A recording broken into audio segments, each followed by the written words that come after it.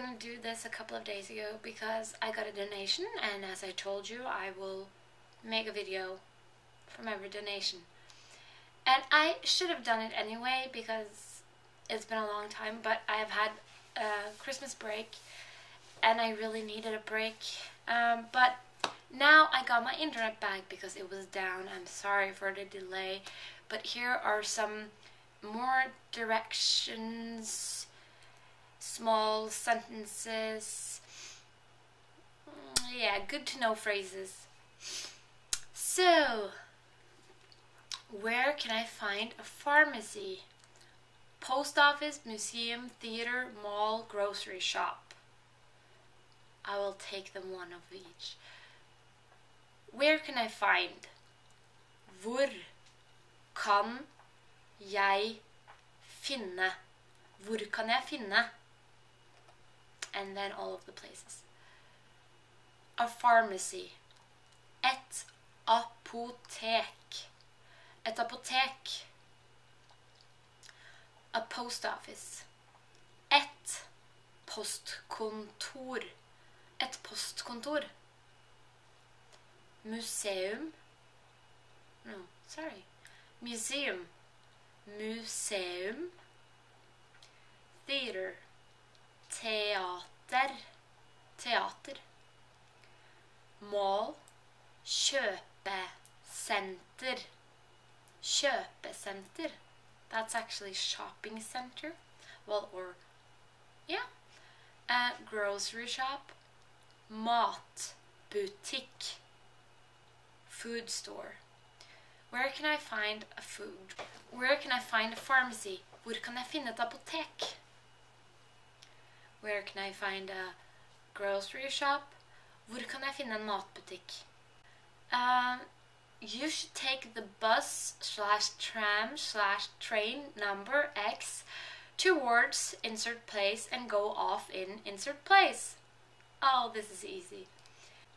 You should take the bus number X towards place and go off in place. Du burde ta buss nummer insert number to mot insert place og gå av på insert place. And you can trade bus for tram, trikk or train, tog. Du burde ta buss nummer to til insert place og gå av på insert place. That was a hard sentence, I know. Um, it's not far from here. Det er ikke langt herfra. Det er ikke langt herfra. It's close. Det er nærme. Det er nærme. You can walk there. Du kan gå dit. Du kan gå dit.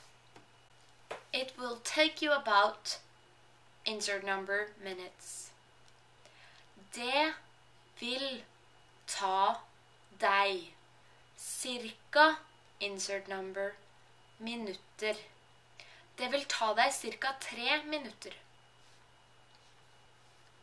Go straight until the first road on the right or left.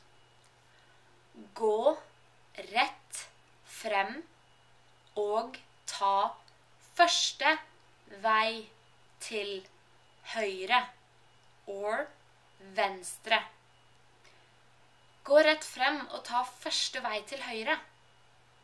Here you can also say first, second or third. Første. Andre. Tredje. Gå rett frem og ta tredje vei til venstre. Go straight until street name. Turn right or left. Gå rett frem til insert street name og ta til høyre or venstre. Gå rett frem til insert street name og ta til høyre.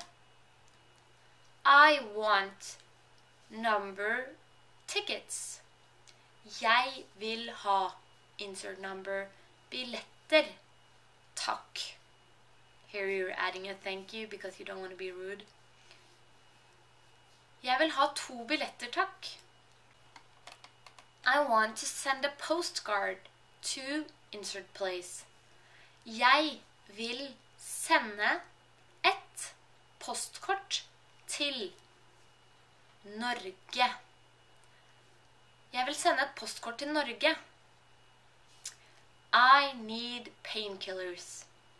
Jeg trenger smertestillende. Jeg trenger smertestillende. So, some of these sentences were really hard, and I hope you will be able to do them. Um, yeah, I want to inform you that I am now engaged. Doodle-doodle-doo. So, congratulations to me and Robert. Yay. Uh, okay, so uh, that was it. Until next time. Bye.